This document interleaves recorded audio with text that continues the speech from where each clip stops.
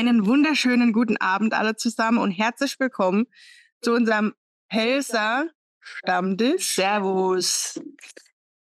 Ja, sage und schreibe, ähm, ist es so, dass am Donnerstag kommt die Podcast-Folge online von der Jessie und mir Teil 1 und zwar über unsere 36-jährige Freundschaft, Jawohl. wie wir uns kennengelernt haben und so weiter. Aber natürlich hätte das nicht in ein Podcast gepasst. Deswegen haben wir gesagt, wir machen Teil 1 und Teil 2. Wir hatten sogar Teil 2 gestern schon angefangen zu recorden. Aber ähm, leider Gottes war mein Mikro aus. Deswegen sitzen wir jetzt heute Abend wieder hier. Wir versuchen, Pelzig zu babbeln, weil es ist wieder Pelzer-Stammtisch, aber oftmals fällt man auch so ins Hochdeutsche. Wir sind parallel bei TikTok live, also wenn ihr irgendwelche Fragen habt oder so, dann gerne. Ähm, ja, für alle, die, die die erste Folge verpasst haben, Forever Gains YouTube-Channel, da findet ihr dann die erste Folge über unsere Freundschaft. Aber ganz kurz, das ist die Jess. Ich bin die Jess. Servus. Und wie gesagt, wir kennen uns seit 36 Jahren und wir waren stehen geblieben im Jahre, ich will jetzt nicht lügen, 2002, glaube ich, oder so 2001, 2002. Ja. Und zwar war das so unsere Hip-Hop-Zeit, hatten wir gesagt. Also wir hatten in der ersten Podcast-Folge erzählt, dass die Jessie zeitweise auf Techno unterwegs war. Und ähm, ich auf Drum Bass, beziehungsweise eigentlich hören wir das heute immer noch. Also du hörst schon heute immer noch dein Tanz den Schranz. Ja, eher so Haus, Techno, ja, aber eher Ja, und ich höre nach wie vor auch ab und zu immer noch die Oldie, wie sagt man? Old School, Old School, und ja. Happy Breaks und was weiß ich alles. Aber nichtsdestotrotz gab es da eine Zeit, also 2002 generell, glaube ich, war so ein Hype von ähm, Hip-Hop. Also ich kannte Hip-Hop noch aus, äh, sage ich mal, der Hauptschulzeit. Da gab es so die Tupac und Wu-Tang Clan, da war das eher so, ne? Ja. So die Anfänge, aber später, also 2002 war dann wirklich so das Missy Elliott und ähm, äh, wie hießen die noch? Usher. Eminem. Ja, Usher, genau. I'm sorry, Miss Jackson. Ich glaube, ist es nicht so ein bisschen auch mit dem Film Dangerous Minds Ja. so ein bisschen losgegangen, Ja. so irgendwie. Ja. Und dann gab es Ja. noch diesen Coolio. Tanzfilm. Ja, genau. Und dann gab es noch diesen Tanzfilm Honey. Ja, Honey, richtig genau. cool. Mit Jessica Alba, glaube ich, gell? Ja, richtig, Wo ja. auch so Hip-Hop-mäßig war. Also auf jeden Fall bei uns hier in der Region gab es dann plötzlich in jeder Großraum-Disco auch einen Hip-Hop-Floor. Ne? Ja. Also vorher war es immer so Techno, House, Dancefloor, Musik und Schlager auf jeden Fall, ne? So. Und später gab's und Rock, glaube ich, gab's am Anfang und dann später gab's Hip-Hop. Räume, glaube ich. Also auf jeden Fall im A65 in Kandel gab's das dann in überall, aber es gab dann auch so, es gab Hip-Hop-Partys. Also in Mannheim gab's damals am Maimarkt Gelände das Broadway. Ist, es, MFM. ist eigentlich abgebrannt. Keine Ahnung. Ich glaube, es war abgebrannt. Ehrlich. Ich glaube, dass das eine türkische Disco war, aber freitags, äh, der jeden erste Freitag im Monat war Jam FM. Genau, dort. ja. Das war richtig cool. Ja. Ich glaube, das wurde auch im Radio übertragen, gell? Ich glaube, es war es live, ja. Ja. Ja, und ähm, die Leute haben echt krank Schlange gestanden. Oh ja. Ja, also es wow. war echt mega und für uns war es immer richtig eine Qual, weil die Jessie ist Friseurin und ich war im Einzelhandel und wir mussten natürlich immer samstags arbeiten. Und es war natürlich dann immer eine kurze Nacht. Aber mit 20 oder was wir da waren, ne? Ja, ungefähr. hier, oder 19 steckt man das hier locker flockig noch weg. Ähm, ja, dann waren wir, waren auf jeden Fall immer im Krypton in Sandhausen. Das war so unser Stammclub. Mhm. Ähm, samstags immer. Ich glaube, du war auch nur samstags Hip-Hop, wenn mich nicht alles täuscht. Ne? Ja, also vor zwölf brauchst du eigentlich nicht gar nicht die, weil da war wirklich überhaupt nichts los. Und die hat auch nur bis um fünf Uhr auf. Aber Ja, dann war man noch im Village in Baden-Baden manchmal. Dann gab es, Ja. glaube ich, in Karlsruhe der X-Palace, glaube ich, hieß das. Mhm. Dann gab es in Darmstadt das Natrix, wo ich Mhm. mich dran erinnere. Dann ähm, in Mannheim der Orange Club, aber der Orange Club hieß vorher anders. Ich glaube, der hieß Villa oder irgendwas mit Villa gab es dort auch mal. ich kann mich nur an den Orange Club erinnern. Äh, und ganz zu der Anfänge gab es in Heidelberg in der Nachtschicht, das war ein Club, der im Keller war, gab es ach freitags irgendwann, ich weiß es nicht mehr, ob ach jeden letzten Monat oder so gab es ach Hip-Hop und der Club war gestoppt voll. Also das war krank. Was da Da war los nicht. war, das war der helle da war ich schon gar nicht. Oder ich glaube, es war sogar Donnerstag, wenn mich nicht alles täuscht. Ähm, ja. Auf jeden Fall, das waren so die wilde Hip-Hop-Zeiten. Und da Saarland nicht, in Kufa. Ah, stimmt. In der Kufa war man noch. Ja, wir waren irgendwie überall. Ja. Vor allem, es gab auch wirklich solche Hip-Hop-Festivals, kann man sagen. Dann also so Partys im Cinemax in Mannheim oder Cineplex, gell? Da war so Silvesterparty, erinnere ich mich noch. Ja, da waren wir doch einmal, oder? Ja, auf mehrere Floors, wo Ja. dann auch Hip-Hop war. Aber da waren auch mehrere solche riesige Hip-Hop-Partys dann. Irgendwie im Rosegarten, erinnere ich mich, war auch ab und zu mal und was weiß ich, wo man Tickets kaufen konnte. Und was es halt auch noch dazu gab, waren die Stores. Also damals erinnere ich mich noch in Mannheim, the Union Square war ja total hip. Ja. Im Union Square hat ja, glaube ich, dann auch so ein DJ gearbeitet, der auch so Hip-Hop aufgelegt hat. Oder zumindest war der mit denen befreundet. Ich habe keine Ahnung. Und da konnte man halt so die ganze Skater-Klamotte kaufen oder beziehungsweise Hip-Hop-Klamotte, Fubu und wie, wie hießen die Sachen noch? Fubu, ähm, South Pole, dann ähm, Sir Benny Miles. Ja, genau, bei den Manns. Ja. Da gab es doch so diese ganze Iggy oder Chichi? Nee, Iggy? Nee, wie hieß denn das? Iki? Chichi? Nee. Ich hatte irgendwie so ein rotes T-Shirt, da stand das drauf. Fubu. Nee. Echo. Echo. Ey, Gott, ich auch ein. T-Shirt, ja. Ja. Also es, gab verschiedene Sachen. Also an so Hip-Hop-Brands dann. Die Frauen waren eher schick. Mit Stöckelschuhe und Die Zeit habe ich ausgelassen mit Stöckelschuhe. ja. War das bei Fies und Pariser Shisha, sag ich nur. Ja, aber es war, es war eine coole Doch, Zeit. ja, das stimmt. Die gingen schon etwas länger. Gab es auch so Straßenfeste dann mit so Hip-Hop-DJs und so. Also es gab wirklich ziemlich viel in den 2000ern an Hip-Hop. Es gab auch so coole Lieder dann halt, ne? Also ich erinnere mich noch an dieses Take out your shirt and twist it like, an, Ja. äh, like an helicopter. Da haben alle ihr T-Shirt, also die Männer ihr T-Shirt ausgezogen, Ja. ne? Und die hatten auch immer so diese Beanies an, ne? Ja. Manche Basecap, manche auch die Beanies. Und dann gab es hier noch unser Lieblingslied. Ähm, dieses, wie hieß das noch? Im Slide to the left. Da, da, da, da, da. Crisscross. One hop this time. bam. Wie ist denn das Lied? Es tja. gar nicht mehr. Aber auf jeden Fall, ja, das waren so die Hip-Hop-Zeiten und dann habe ich dort quasi so meinen ersten, würde ich sagen, langjährigen Freund kennengelernt. Ja, Ja, und dann war das irgendwie auch so ein bisschen vorbei mit der Party, Ja. muss man sagen. Ähm, dann war es eigentlich so, dass dann Ich waren die Weinfeste, oder? War die, Ja, die Weinfeste waren wir ja eh immer Ja. eigentlich. Also man kann sagen, von Mai, ab deinem Geburtstag, immer das erste Maiwochenende Kaltstadt. Das war man letzte, jo- ja. Das le- letzte April, Anfang Mai War das, ja. das erste und Ja. dann waren wir immer bis, ähm, also wir waren ja oftmals nicht in Bockenheim, aber Bockenheim ist ja das letzte Weihfest. Ne? Winterfest war ich gerade, glaube ich, einmal. Ich glaube ich auch. Das hat mir nie so gut Nee, gefallen. war zweimal Freitags und es war aber blöd, wenn man samstags arbeiten gehen darf. Ja, Das ist immer blöd, ja. Ähm, aber ja, gut, Weinfeste können bei uns in der Palz halt dazu. Für mich war immer so das letzte Wurstmarkt. Ja, Wenn ich so gewusst habe, der Wurstmarkt ist durch, dann war für mich so gefühlt Weihnachten. Irgendwie, ja, dann war, dann war Sommer vorbei, dann war einfach Winter. So das Highlight, man hat sich so zu Aslemer Kerbe hochgearbeitet, das war Ja. das Highlight. Und wenn dann der Wurstmarkt durch war, dann war irgendwie ab vorbei.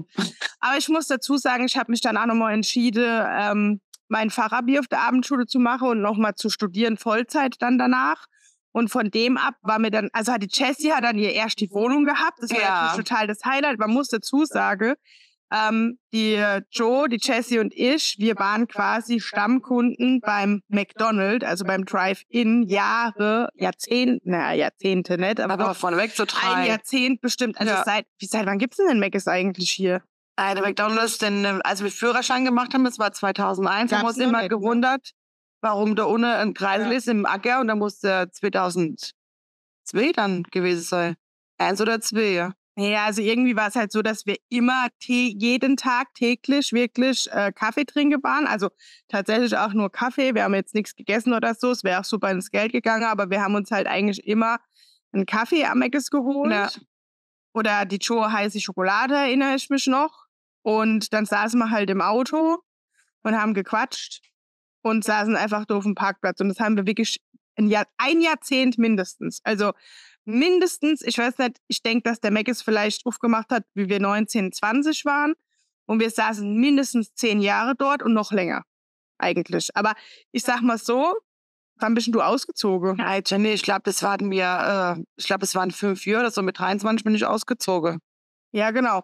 Und ab dem Zeitpunkt, wo die Jessie ausgezogen ist, war man zum Teil dann immer noch eigentlich am Meckes. Ja. Aber zum Teil war es dann so, dass wir gesagt haben, ja, ähm, wir machen so ein bisschen ruhiger und waren dann äh, oftmals bei der Jessie zu Hause und haben dann so DVD-Nächte gemacht, wo wir wirklich noch in die Videothek sind. Damals ist man noch in die Videothek Ja. und hat sich Filme ausgeliehen. Ne? Auf VHS. Und äh, damals gab es auch noch kein Netflix und Co. Das heißt, ähm, aber ich weiß, unsere Serien-Junkie-Zeit fing an mit der Aki, weil die Aki hatte die Gilmore Girls. Und ich fand das Cover so mega langweilig und furchtbar.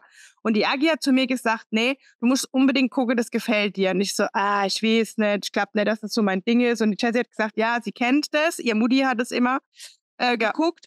Und dann haben wir das angefangen zu gucken und dann war ich so süchtig bis heute. Also bis heute ist es meine absolute Lieblingsserie und ich schaue die mindestens ein bis zweimal im Jahr komplett. Und ähm, ich war dann so crazy, dass ich mir wirklich die ganze DV, also die Agi hat mir, glaube ich, die erste drei Staffeln gegeben, hat die, oder die erste vier gehabt. Und ich habe mir dann echt alle geholt und zum Teil war das hier noch gar nicht fertig damals, wo wir das angefangen haben zu gucken. Ne? Also so die, ich glaube 2018, mit- nee, sorry, 2008, wenn mich nicht alles täuscht, kam die letzte Staffel raus mit ähm, denen, also die siebte Staffel, wo ich glaube ich in Malaysia war. Oder? Oh, keine Ahnung, da, da bin ich raus. Ich habe mir die da noch auf Englisch geholt, weil es die hier noch gar nicht gab. Also, Und dann kam ja jetzt vor kurzem, was ist vor kurzem, vor ein paar Jahren dann noch mal dieser vierteilige Film raus, ne? Ja. Ja, aber auf jeden Fall fing dann da die Junkie-Serienzeit an und dann haben wir uns im Wechsel, Jessie und ich, Serien gekauft, weil wir Boah. so süchtig waren. Also ich habe wirklich zwei Schränke voller DVDs, also müssen wir mal noch einen Sondervlog dazu drehen, glaube ich, oder nicht Vlog, also so, ja, YouTube-Video zu den ganzen Serien auf jeden Fall. Du hast, glaube ich, auch einen ganzen Billigschrank, oder? ja, ich habe auch einen ganzen billig Also ich habe zwei Bill- Billigschränke Nee, ich hab einer. DVDs und Serien, aber wir haben echt alles geguckt. Also von, ich sag mal so, Heroes, Prison Break, so das, was ich habe. Dann ähm, True Blood, Nip-Tuck. Nip-Tuck, äh, Dexter, Supernatural, ähm, Lost. Prost. Dann später ging es dann weiter mit Pretty Little Liars, Gossip Girl, aber das war eigentlich viel später. Eigentlich zu der Zeit, wo wir geguckt haben, war noch so Breaking Bad, Die Sopranos, Roswell, also so, keine Ahnung, die ganze Sache. Du hattest Grey's Anatomy. Anatomy, Sex and the City, OC California, Dr. House Dr. House. Also das waren so deine Serien, ne, die du so und Bones. und Bones, ja, ja. zum Beispiel ja, noch? Ja. Ähm, genau, und wir haben dann einfach bei der Jessie gesessen und wirklich nächtelang einfach nur Serien gesuchtet. Aber dann war natürlich auch noch so Sachen wie Filme, zum Beispiel Harry Potter natürlich, haben wir Mhm. danach so Harry Potter Nacht gemacht. Und ich weiß, das Schlimmste war, die Jessie wollte unbedingt Herr der Ringe gucken. Ich? Du wolltest es gucken, Ach Ajo. Ich bestimmt nicht, Okay. weil ich weiß es so genau, weil ich konnte das Herr der Ringe. Also es war so, und zwar mit von meinem Ex-Freund ein Freund, der war mit mir in irgend so einem, ich weiß nicht mehr was, war auf jeden Fall so eine Frauenschnulze, keine Ahnung mehr welcher Film das war. Ich wollte dort rein. Der hat gesagt, er geht nur mit, wenn wir dann mit ihm in Herr der Ringe gehen. Und ausgerechnet war das der zweite Teil Herr der Ringe. Und ich habe gesagt, okay, gut, aber ich wusste zu dem Zeitpunkt nicht, dass dieser Film drei Stunden geht. Und das, wir waren in der Abendvorstellung, ich musste am nächsten Tag arbeiten und gefühlt, wir saßen wirklich drei Stunden. Ich habe immer gedacht, sage Mo, das gibt's so nicht, wann ist dann der Film fertig? Ich habe aber nicht gewusst, dass das eine Trilogie ist, ich wusste gar nichts dazu.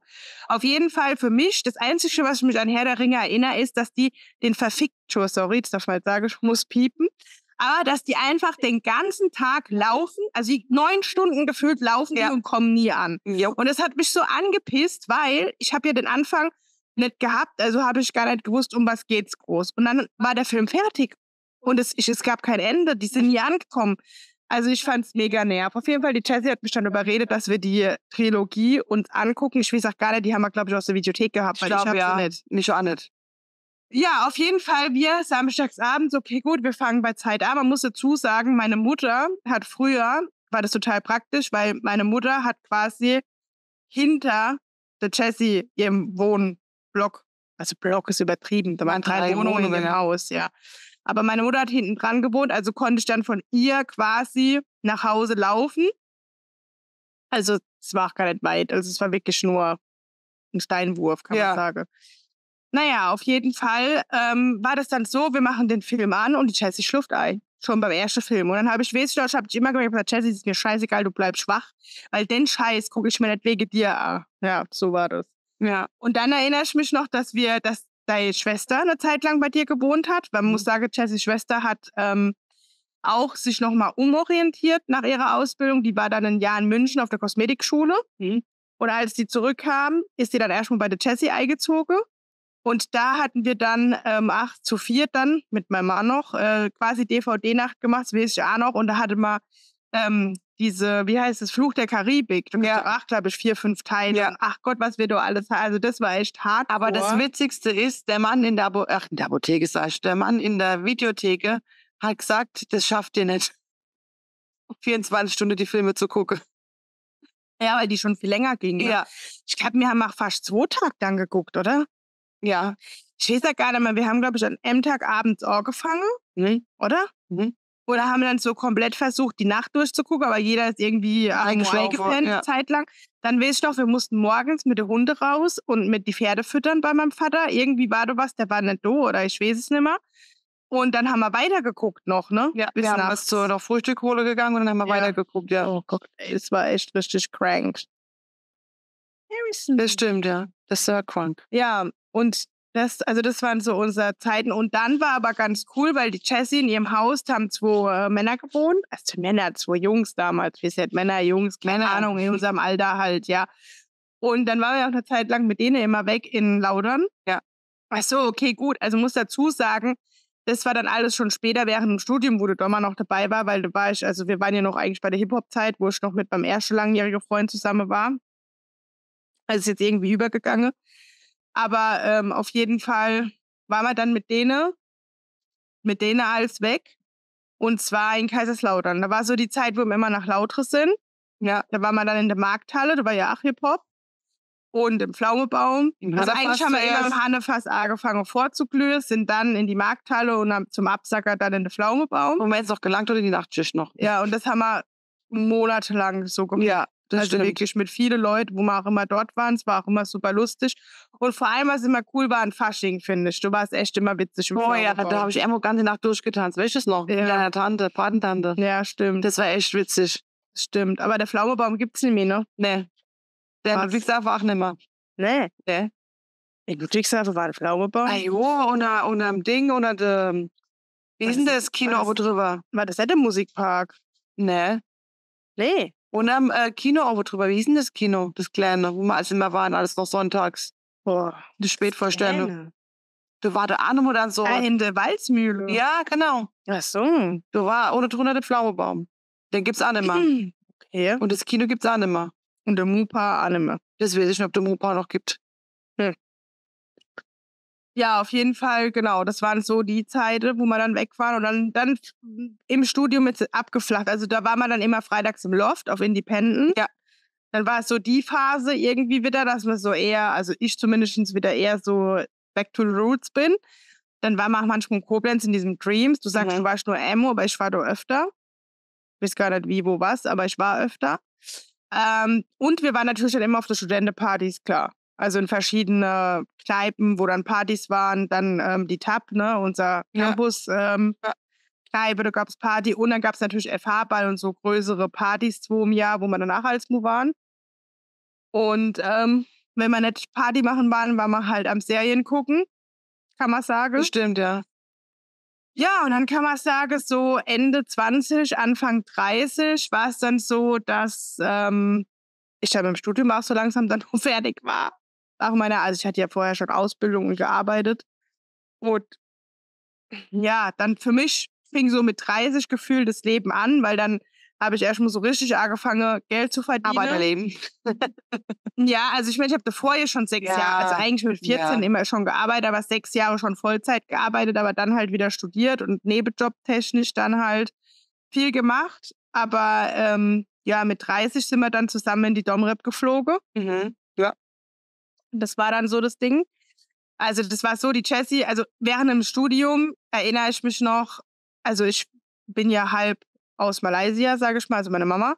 Und ich war dann 2008 im Stu während dem Studium das letzte Mal in Malaysia gewesen. Und dann bin ich mit Dommer zusammengekommen, also mit meinem Mann, wir haben im Studium kennengelernt. Und dann war ich mit ihm in Kroatien. nee, ich glaube, ich war 2007 das in Malaysia und war 2008 mit dem Dommer in Kroatien. Weil ich Ja. bin so acht mit ihm zusammengekommen. Und dann war man ein Jahr drauf noch in Tunesien. Das war der schlimmste Urlaub, den ich je erlebt hatte. Also Katastrophe, wirklich so Klassiker, könnte man meinen aus dem Fernsehen raus. Und ähm, ja, auf jeden Fall dann ähm, sind wir das erste, also ich war fünf Jahre nicht im Urlaub und dann haben wir echt gespart, die Jessie und ich. Also ich war noch im Trainee-Programm und wir haben dann aber wirklich so Geld gespart und haben ähm, uns gesagt, mit 30 feiern wir erstmal zusammen eine Party, lassen uns an der Party Geld schenken und fliegen mit dem Geld das erste Mal so richtig weg und dann sind wir in die Domrep geflogen. Mhm. Und da war noch Jessys Schwester dabei und mein Mann quasi. Also Dommer. Und es war auf jeden Fall so unser erster Urlaub nach Jahren und es war richtig cool. Also wir waren 14, Ta- waren wir 10 oder 14 Tage? Das erste Mal waren wir neun, dann waren wir elf.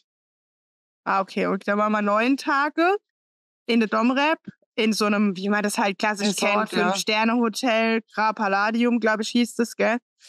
Und wir haben uns natürlich gefühlt wie im Himmel, fünf Jahre nicht im Urlaub, all in, ne? Und haben dann wirklich schon morgens um elf gedacht, wir sind hier äh, am Himmel, wie sagt man, wie, ähm, ja, wir haben halt gedacht, geil, wir sind im Urlaub, Meer, wir setzen uns in die pralle Sonne vor allem, ne? Ja. ohne Schirm. Ich meine, Ja. mir mit meiner dunklen Haut macht das nichts. Vorne aber die erste Reihe. War das natürlich schon eine Katastrophe. Yes. Und dann haben wir halt die Beachbar direkt da gehabt und dann ging es los mit Coco Loco und Bahama Mama, ne? So die Klassiker, so diese babs süße.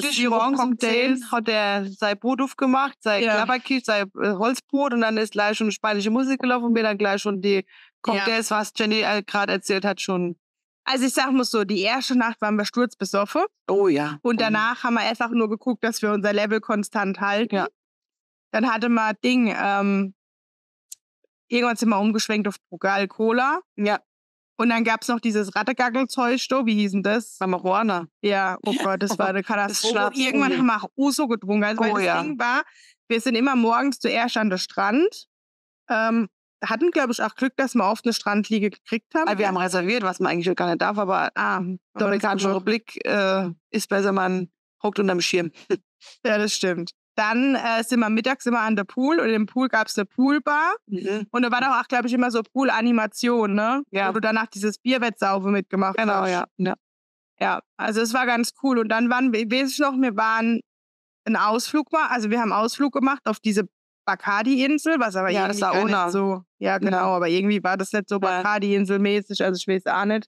So stand nur Also, eine Palme. Was ganz cool war, ist, wir haben Seesterne gesehen. Ich weiß noch, wir haben Gehalt auf so einer Sandbank im Meer und da gab es Seesterne und der Strand an sich war auch ganz cool. Aber jo, Was war- ganz cool war, war das mit dem Katamaran und mit dem Das äh, war cool, das- das Wellnessboot. Also wir sind dann ein Jahr später nochmal in die Domrep Ja. geflogen zusammen. Und da waren wir dann genau, da waren wir auf so einem Wellness-Schiff, also so ein Katamaran, wo es dann wirklich, das war cool. Da gab es für jede Massage, dann hatten wir so dieses, wo die Fische so die, Fisch, die Fischbar, Füße da, ja genau. Und Yoga haben wir, glaube ich, gemacht Ja. und so. Also das war ganz cool. Und in dem Jahr waren wir auch noch in ähm, Santo Domingo, ne? Also Ja. in der Hauptstadt. Ja. Das war nicht so cool. Nee. ich habe mir so eingebildet, okay, die Hauptstadt, wir gehen dann auch mal in die Stadt, sehen mal Geschäfte, können da irgendwie so ein bisschen shoppen gehen und so. Aber es war halt wirklich nur, wir gucken uns Museum an, gucken uns dies an, gucken uns das an. Also Wir war sind damit wir von Polizisten begleitet worden sind. echt. Ja, da war erst immer ein Polizist vor mit dem Motorradfahrer. Also Motorradfahrer, also der saß auf dem Motorrad, der ist immer vorn. Echt, das weiß ich Ja. mehr. Und wenn wir essen waren, haben zwei äh, Polizisten vor dem Restaurant schon mit Maschinengewehre. Ja, gut, es ist halt abends Land, ne? Ja. Und ich glaube, in die Disco haben wir es nur Emo geschafft oder so. Boah, das war ja aber ach. Oh je, wir oh waren je. wirklich schon so die ganz, die, der ganze Tag so bedient, ne? Mit unserem, wir halten alles konstant, unser Level, dass wir eigentlich abends essen waren und sind ins Bett. Ja. Also ich glaube, wir haben es vielleicht gerade mal noch geschafft, einen Cocktail zu trinken manchmal an der Ende Cocktailbar. Gefühle, ja. Ähm, und ich erinnere mich noch, dass es so eine, so eine 24-Stunden-Bar gab, gell, wo man 24 Stunden Pommes Snack, und Pizza ja, und so, ja, ja, Snackbar genau, gekriegt hat. Und es gab in dem Hotel so einen Zug, mit dem man mitfahren konnte zu dieser Snackbar und so, ne? Ja, genau.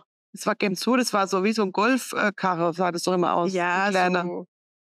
Ja. Hm. Aber ja, es war ganz schön gemacht, aber ich muss dazu sagen, also das erste Mal war es cool und ich kann mir vorstellen, wenn man Kinder hat, dass es so all-inclusive auch ganz cool ist. Aber ich persönlich muss sagen, mein Ding ist es gar nicht. Also wir waren später mit dem Dommer noch irgendwo in Mexiko all in. Und uns war so langweilig, dass wir uns dann ein Auto gemietet haben und sind auf eigene Faust dann nach Tulum gefahren, haben uns Zinotte und alles Mögliche angeguckt. Dann hatte mal einen Tag ein Taxifahrer, sind ähm, ins Shoppingcenter gefahren, also das All-In. Also für uns ja. ist nichts. Ich sehe lieber was von ja, Land. Menschen, Land und ja. Leute. Aber was auch ganz cool war dann mit 30, also man kann wirklich sagen, mit 30 haben wir halt mal so richtig angefangen, Urlaub und so zu machen. Wir waren dann ähm, am Ballermann, ne? Ja. Also zu meinem Junggesellenabschied waren wir am Ballermann. Das war cool. Zum Sommer am 30. noch immer, das war echt nicht schlecht. Es war echt lustig, auch da haben wir konstant das Level gehalten. Und zu Jessys Junggesellenabschied waren wir am Sritsche Beach und das war richtig cool. Das war echt cool, ja. Ja, und zwar wollte ich eigentlich schon an das Ritsche Beach zu meinem Junggesellenabschied, aber wir waren dort noch nie und dann ähm, hat die Joe dann gemeint, ach nee, lieber nicht, wir wissen nicht, wie es dort ist, wir waren dort noch nie und am Schluss ist es nicht check, gehen wir lieber halt an den Ballermann. Klar, da waren wir auch noch nie zu dem Zeitpunkt, aber man hat halt mehr davon gehört, wobei wir eigentlich dachten, es wäre voll assi, aber es war das gar war nicht so assi, so. es war echt in Ordnung. Okay.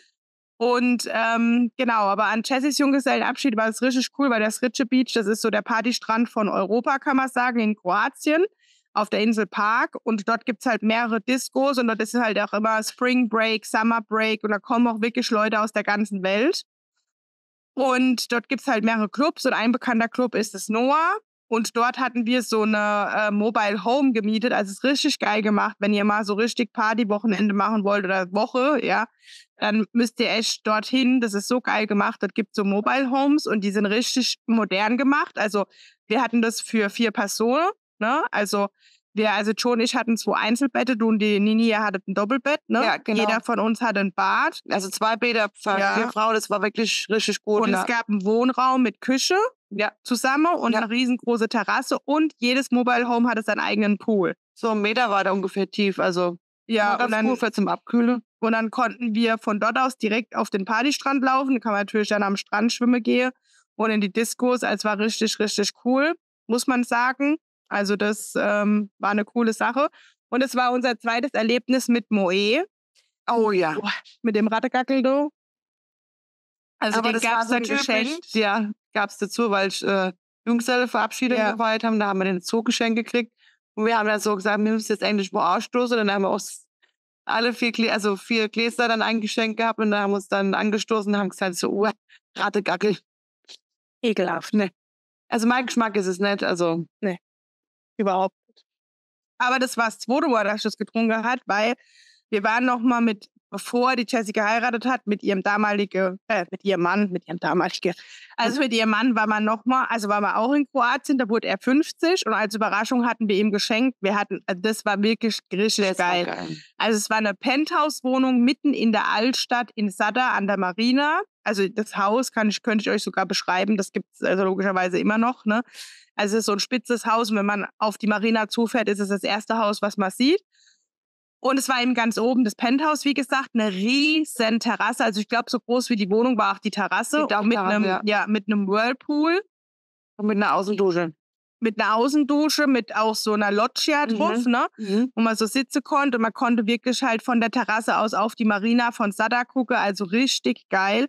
Und die Wohnung war auch richtig top modern gemacht. Das Einzige, was ein bisschen doof war, war, dass es nur ein Schlafzimmer gab. Also Dommer und ich, wir haben im Wohnzimmer geschlafen. Das war riesig, das Wohnzimmer. Ja, die Küche war riesig. War, ja, riesig. Aber ja. die Couch war mega unbequem. Das war ein bisschen doof. Wir haben uns dann so eine Luftmatratze zum Aufpumpen geholt. Ähm, Stimmt, die habt ihr das mal trotzdem. Ja, aber, aber wir waren ja mit dem Auto. Ihr wart hier geflogen. Genau, ihr wart ja eine Woche vorher schon quasi im Kolan, in dem Hotel, ne? Mhm. Nee, Kolovare heißt es. Kolovare, ja. Genau, und dann, ähm, ja, dann waren wir halt eine Woche zusammen dort und wir haben halt gedacht, voll cool, wenn der Geburtstag hat, dann ähm, holen wir eine Flasche Moe und stoßen im Whirlpool an, was wir gemacht haben, aber es hat halt einfach furchtbar geschmeckt. Aber was cool war, wir hatten da auch noch dann an dem Tag quasi ein Boot gemietet mit Skipper und war dann zu viert ähm, auf der Konati unterwegs. Das war wirklich schöner Also Tag, die Inselgruppe um Sada ja. rum heißt Konati. Und da ist er mit uns überall an Strände gefahren und ähm, an Buchten und so. Und wir hatten unsere Kühlbox dabei mit Alkohol. Also es war echt cool. Wobei ich dazu sagen muss, dass ähm, damals ist der Alkohol auch noch ein bisschen besser geflossen. Ja. Bei mir fließt der schon seit vier Jahren gar nicht mehr. Also ich trinke gar nicht mehr. Aber das hat andere Hintergründe. Also nicht, dass ich Alkoholiker war oder so, aber ähm, nee, ich habe das auch nicht mehr vertrage. Also keine Ahnung. Ich denke, es liegt daran, weil wir waren ja wirklich früh Party machen. Also wir waren mit 16 kontinuierlich, kann man sagen, bis 30 unterwegs mit, ich meine, es wurde immer weniger. Früher war man wirklich von Donnerstag bis Sonntag unterwegs. Oh ja. Also in der 20er kann man sagen und ich sag mal so, ab Mitte, Ende 20 war man dann nur noch samstags zum Beispiel weg, ne? Oder wenn, wenn Weinkerbe war, vielleicht auch Freitag, Samstag im Sommer. Und dann irgendwann mit 30 war man dann wirklich vielleicht so M im Monat, aber auf jeden Fall noch feiern. Ja, das stimmt. Also ja. Krypton danach ja. in Frankfurt. Ja. Und ähm, ich muss aber sagen, das Problem ist, mein Schlafrhythmus hat sich komplett geändert. Also ich war so als jugendlicher, junger Erwachsener immer so Nachtmensch. Also immer sehr lange nachts wach, dafür gerne morgens lang geschlafen. Und mit dem Job und mit dem Alter hat sich bei mir komplett geändert. Ich stehe halt echt jeden Morgen um fünf auf und ich habe so innere Uhr, egal wann ich ins Bett gehe, aller spätestens um sieben Uhr. Also wenn es acht ist, ist es spät, egal wann ich ins Bett gehe, bin ich wach. Und ich denke halt einfach, das reicht natürlich nicht für den Körper, der Alkohol abzubauen, weil früher ist man dann um fünf ins Bett und hat bis um mittags um vier gepennt. Und dann hat man zwar noch ein bisschen dicke Kopf, aber dann hat man halt was gegessen und dann war gut. Ne? Und das ist halt einfach heutzutage mehr so. Ich kann halt einfach so lange nicht mehr schlafen und dann habe ich einfach äh, eine Woche noch drin gehangen nach dem Suff. Und das war mir die, das war mir die Zeit zu schade, weil ich danach einen Zweitwohnsitz hatte und war einfach nur zwei Tage die Woche hier, musste danach natürlich die Familie besuchen und so und konnte mir dann nicht leichter wie so ein Shabby Steven auf der Couch zu hängen, wegen drei Stunden, die wir dann halt nur feiern waren. Und ja. irgendwie haben wir echt viel gefeiert. Also ich habe jetzt auch nicht das Bedürfnis, hier irgendwie noch was nachzuholen. Muss ich sagen. Ich auch nicht. Vor allem ist es ja auch alles Schweine teuer geworden, das muss man ja immer dazu sagen. Ja, mittlerweile sind die Getränke teurer als das Essen. Also ich trinke noch ab und zu, aber das ist nicht schon so. immer so. Finde ich? finde, weiß nicht. Aber also ich trinke immer noch ab und zu, aber auch nicht jedes Wochenende oder so, aber ab und zu mal so im Sommer so kühle WC-Radler, Balkon. Ja. Also ja, kann man sagen, so die letzte. Ja gut, dann kam natürlich Corona, dann durfte sowieso keiner nee. weg. Aber schon vor Corona war man ja nicht mehr so wirklich weg. Also gut, das Einzige, wo wir eigentlich weggehen ist, Jess und ich machen ja zusammen Forever. Und wenn dann hier eine Veranstaltung ist von Forever, dann sind wir dort. Da ist ja auch immer einmal im Jahr so dann, wo dann Party ist ja. bei der Jahresauftaktveranstaltung. Aber ansonsten eigentlich gar nicht mehr, außer Geburtstagsfeiern. Aber das ist ja eigentlich, was das angeht, ist immer langweilig geworden. Oder wir haben andere Prioritäten gekriegt, sagen wir es mal so. Aber ja, auf jeden Fall muss man sagen, sind wir jetzt schon seit 36 Jahren kennen wir uns genau. schon. Und aber es ist eigentlich schon einzigartig, nicht nur bei uns, sondern es gehören ja noch mehr dazu. Also die Agi kenne ich ja schon seit ich drei bin, quasi. Die ja auch immer noch ein Teil in meinem Leben ist. Also ich meine, klar, man sieht sich nicht so oft, die Agi wohnt in Leipzig, aber wenn sich hier einmal im Jahr, zweimal im Jahr sieht man sich auf jeden Fall. Ich meine, ich war ja acht, sechs, ich glaube sechs oder sieben Jahre in den neuen Bundesländern. Ja. Da habe ich die Agi natürlich öfter gesehen und besucht. Jetzt ist halt so, ich bin hier, sie ist noch dort. Also wenn sie halt vorbeikommt, so ein bis zweimal im Jahr sehen wir uns. Ne? Aber dann sehen wir uns auch und wir sind so wie immer und wir hören uns natürlich auch. Ne? Wir schicken uns Nachrichten, Sprachnachrichten oder telefonieren mal und dann ist es aber auch so wie immer. Und die Joe, sage ich mal, wohnt ja am Bodensee, aber die ist ja zum Teil auch hier und dann sieht man sich auf jeden Fall, wenn sie hier ist oder man telefoniert halt auch oder ja. ne? Sendet man sich sich ein bisschen Zeit frei, ja. Also man, ja genau, man guckt ja einfach so, wie man das alles unter einen Hut kriegt. Ich meine, wir beide wohnen am nächsten. Ich meine, wir sehen uns da nicht immer so oft, aber ich sag nur so, ja, wir wissen schon. Wir wissen einfach, dass wir immer füreinander da sind, egal was ist. Und ich denke, das ist ausschlaggebend und dass man halt kommuniziert und da irgendwo eine ehrliche Basis hat. Ja, ja. Ich denke, das ist so das Wichtigste, ja, das stimmt. Der ausschlaggebende Punkt. Punkt. Mittlerweile sind wir jetzt schon 41. Katastrophe. Hey. Ja, was heißt Katastrophe? Also, ne, ich sag mal so, für mich war gefühlt so dieses, ich werde 30 schlimmer wie ich werde 41. Ja weil ich werde 40, ne? Also 30 war irgendwie für mich schlimmer, so die 20er zu verlassen, weil ich fand aber 30er richtig cool, muss ich sagen.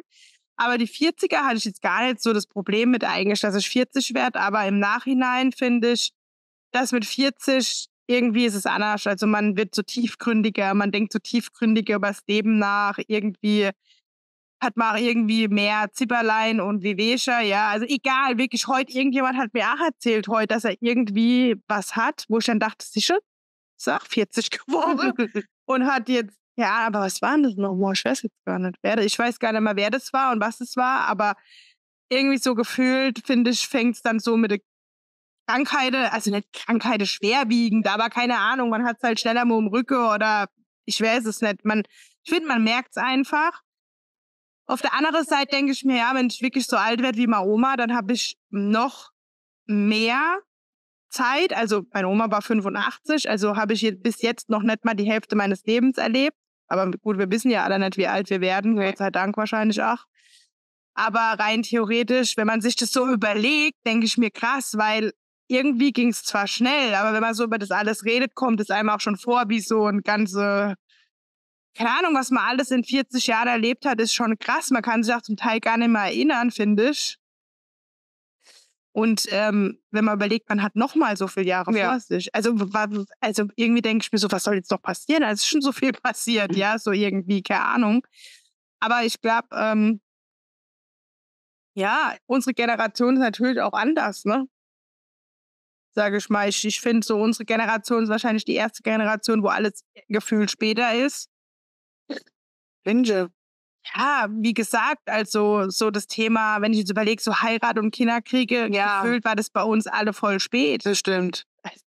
Manche sind noch nicht immer verheiratet ja. oder haben noch keine Kinder. Also, ja. Aber selbst also die Generation vor uns, die ich kenne, mit denen wir so zu tun hatten, wenn ich überlege, ne, die haben ja auch erst mit Ü40 Kinder ja, gekriegt stimmt, und sich gesettelt und so. Ne? Also wir sind entweder sind wir das einfach oder es ist einfach, klar gibt es natürlich bei uns acht Klassenkameraden, die haben schon mit 20 Kinder gehabt, ne? So ist es jetzt auch nicht, aber irgendwie finde ich, ich kenne einfach viele Leute, die ziemlich spät sind. Wir gehören dazu.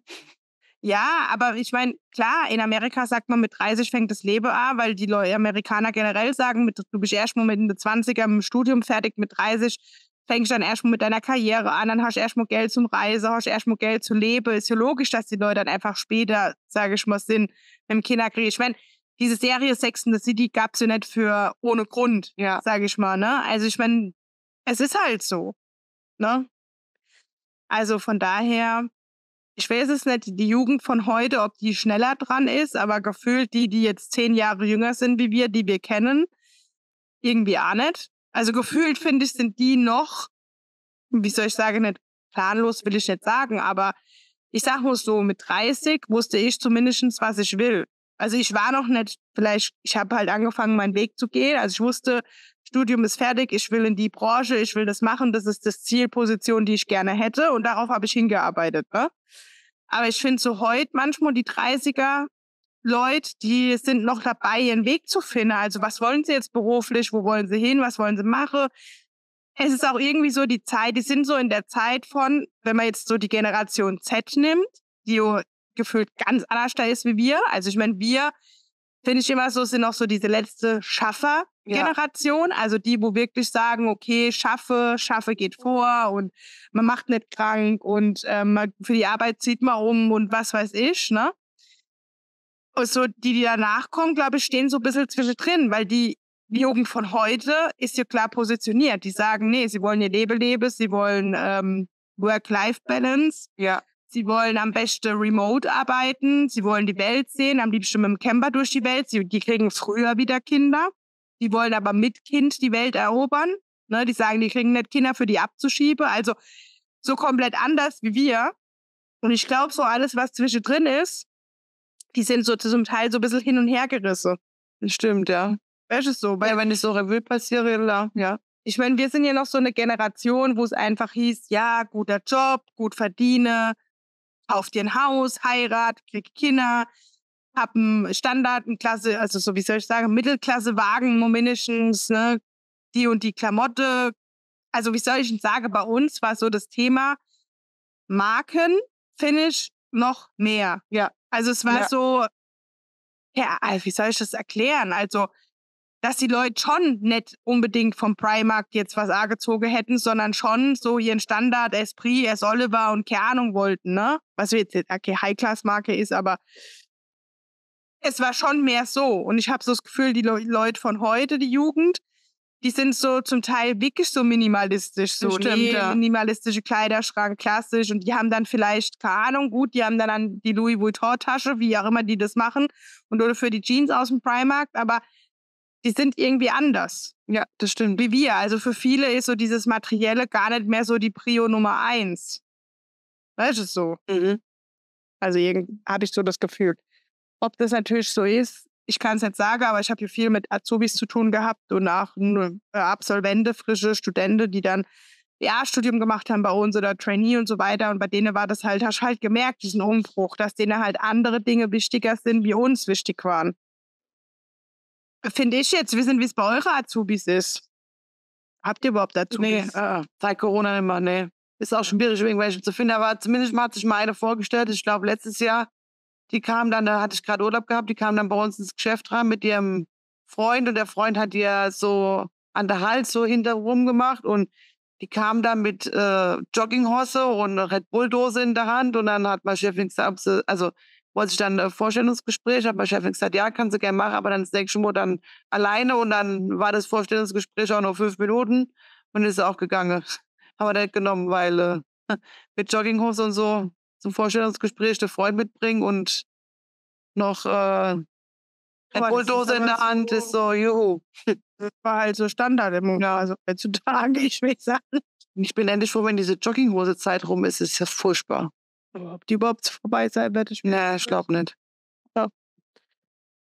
Andere Zeiten, andere Ja. Generationen. Ja, Ist halt einfach so. Ja. Aber ja, also was kann man als Fazit so mitgeben? Ja, Kommunikation ist es A und O und man muss nicht immer aufeinander kleben wie eine Briefmarke. nee. Also es gab in unserem Leben auch immer Zeiten, wo wir mal mehr, mal weniger miteinander Kontakt hatten. Und wie gesagt, also zwei unserer Freundinnen wohnen auch gar nicht hier. Aber wichtig ist, dass man weiß, man ist füreinander da und dass man kein befremdliches Gefühl hat, auch wenn man sich länger nicht gehört hat. Und dass man einfach respektvoll miteinander umgeht. Also ich glaube, das kann man so als Ja. Fazit sagen. Das stimmt, hast du recht. Ähm, ja, also ich denke, das ist eigentlich so unterm Strich das, was man dazu sagen kann. Es war jetzt auf jeden Fall zwei lange Podcasts zu unserer, so ein Schwank aus unserem Leben. Ich bin dafür, das ist halt voll schade, müsste die Show dabei sein. Wir müssten halt echt mal so einen Schwank aus unserem Leben machen mit Boah, unserer ganzen Gott. lustige Geschichte, Das Die wir hätte, das hätte gar nicht mehr auf. die wir schon erlebt haben oder was du alles schon für Kracher gebracht hast. Oh ja. Ähm, ja, müssen wir uns Ich glaube, das müssen wir auf dreimal oder so machen. Keine Ahnung. gefühlt wird mir jetzt im Moment gar nicht so viel einfallen. Ah, doch. Aber ähm, ja, Mir schon. kann man hier mal ins Auge fassen. Ja. Ja. Aber schön, dass ihr dabei wart. Der Podcast ist somit beendet, unser Pelzer Stammtisch. Äh, die, also wie gesagt, falls ihr die erste, den ersten Teil verpasst habt, ihr findet den auf jeden Fall in unseren ähm, Podcasts-Ordner, oder wie nennt man das, Playlist abgespeichert. Es wird Teil 1 und Teil 2, wie gesagt, geben. Also hört euch auf jeden Fall Teil 1 zuerst an, das macht Sinn. Es macht jetzt keinen Sinn, dass ich das am Ende vom Podcast sage, aber egal. Aber egal. Ähm, genau. Und wir hören und sehen uns auf jeden Fall nächste Woche wieder. In diesem Sinne. Anna, Servus. Tschö.